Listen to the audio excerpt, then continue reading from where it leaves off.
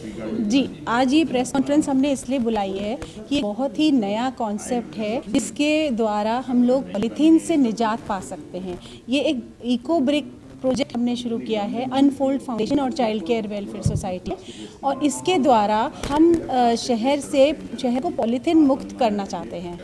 इसमें हमने क्या किया है कि खाली प्लास्टिक की बॉटल्स लेके और उनके अंदर जितना भी हमारे घर में प्लास्टिक के रैपर इत्यादि आते हैं, चाहे वो हमारे खाने के सामान में हो, दवाइयों में हो, हमारे कपड़ों में हो, जिनको हम फेंक देते हैं और जो जाके पर्यावरण को प्रदूषित करते हैं, उस सारे पॉलीथीन को छोटे छोटे टुकड़ों में काट के हम इस तरह से बॉटल्स में भर देते हैं। आपको मालूम होना चाहिए कि प्रति मिनट एक टन प्लास्टिक हमारे समुद्र में जाता है और उसका सबसे बड़ा कॉन्ट्रीब्यूटर हमारी दो नदियाँ हैं, गंगा और ब्रह्मपुत्र। अब इस प्लास्टिक का कोई ऐसा चीज़ नहीं है कि इसका हम डिस्ट्रॉय कर सकें। प्लास्टिक कभी डिस्ट्रॉयड नहीं हो सकती। केवल एक बार रिसाइकिल होती है, पर फिर भी प्लास्टिक रहती है।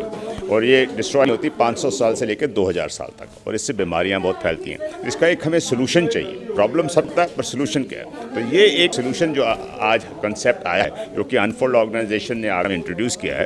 ये प्रमिता कुलश्रेष्ठ जी ने इसको यहाँ ला हमें दिया। उन्होंने हमको बुलाया, हम इसको प्रमोट कर रहे हैं। ऑर्गेनाइजेशन की आगरा चैप्टर की, जिसमें प्रमुख रूप से लेडी डॉक्टर्स हैं उन्होंने काफ़ी लंबे समय तक मेहनत कर कर पूरी दुनिया में प्रचलित पर्यावरण की रक्षा के लिए वेस्ट प्लास्टिक को हर घर में कैसे प्रयोग किया जाए अच्छे ढंग से, उसका बहुत बड़ा प्रोजेक्ट बनाया जिसकी लॉन्चिंग 9 तारीख को दोपहर तीन बजे लाजपत कुंज पार्क में माननीय नगर आयुक्त अरुण प्रकाश जी के द्वारा और विधायक जगन प्रसाद गर्ग जी के द्वारा होगी। एक बेंच बनी है, उन्हीं बोतलों से जिनमें बेस्ट प्लास्टिक है